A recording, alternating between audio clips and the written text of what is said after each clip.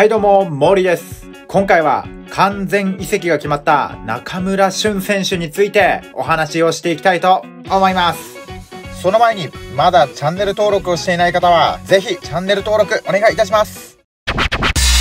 今シーズン、モンテディオ山形から湘南ベルマーレに完全移籍で獲得した中村選手が、なんとシーズン途中でアビスパ福岡に完全移籍となりました。なかなかね、完全移籍で獲得した選手がシーズン途中で同じカテゴリーのね、チームに完全移籍するっていうのは非常に珍しいパターンなんじゃないでしょうか。それでは中村選手の経歴を確認していきたいと思います。ご覧の通りになっております。中村選手は94年生まれ、現在27歳。2016年に駒沢大学よりアマチュア契約にてね、ザスパ草津群馬に加入しました。このシーズンは34試合出場、そして4得点3アシスト記録しました。そしてこのシーズンにね、プロ契約に移行し、2017年からモンテディオ山形に移籍し、山形では中心選手として活躍しましたね。17年から20年在籍し、139試合出場、そして17得点8アシストを記録しております。そして満を持して2021年、湘南ベルマーレに移籍してきて、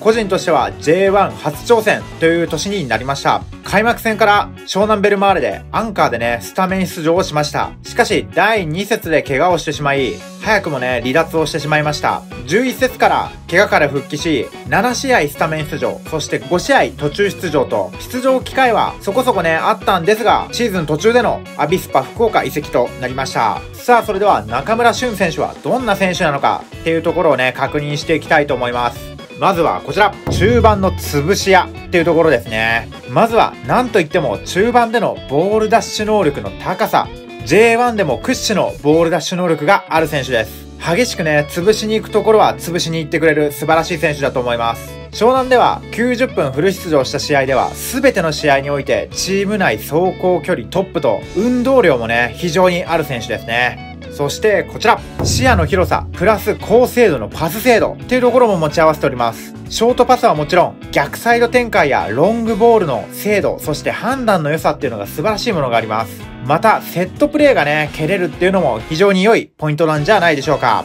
さらに、それだけではなく、こちら、ミドルシュートもうまいっていうところでね、かなりもう何でもできるスーパーなプレイヤーです。モンテディオ山形時代、そして湘南ベルマーレでの得点では、中盤2列目や3列目からの上がり、そしてね、ペナルティエリア手前からのミドルシュートでゴールを奪うプレーが多く見られます。中村俊選手のプレー集や得点集など、ぜひね、あると思うので見てみてください。さあ続いて中村俊選手がアビスパ福岡で輝けるのかっていうところですがこれはもう間違いなく成功すると思いますポイントは起用方法っていうところだと思います。個人的には中村俊選手が一番輝けるのは2ボランチの一角だと思っています。もしくは2列目、インサイドハーフの起用も良いかもしれません。中村選手の持ち味は運動量とボールダッシュ能力ですが、攻撃面でも長けている能力っていうのが非常にありますので、攻撃参加をする必要があると思います。その中で、湘南では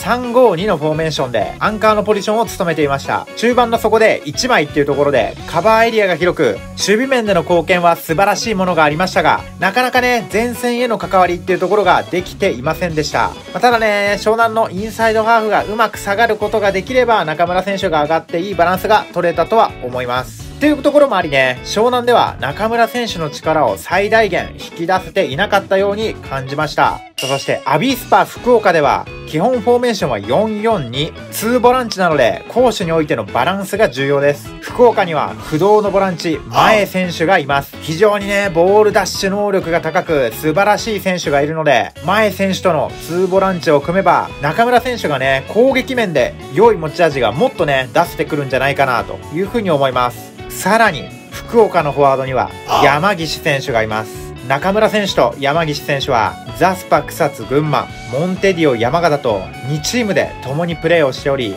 アビスパ福岡で3チーム目の共演となります。もうここのホットラインに関してはね、言うことがないんじゃないでしょうか。非常にいい関係ができていると思います。また、アビスパ福岡としても、この夏、ボランチの補強っていうのは一番必須のポジションだっただけに、かなりでかい補強になったと思います。アビスパ福岡サポーターの皆様、中村駿選手は絶対に活躍します。どうぞよろしくお願いします。湘南戦の時はね、どうか手加減をお願いします。そして中村選手、アビスパ福岡での活躍を期待しております。ということで、中村俊選手の移籍についてお話ししていきました。湘南ベルマーレもね、中村選手が抜けた穴、中盤の補強っていうのをぜひ今後ね、いいニュースを期待しております。それではご視聴ありがとうございました。よろしかったらチャンネル登録、高評価お願いいたします。皆様からのコメントもお待ちしております。また次の動画を楽しみにしていてください。バイバーイ。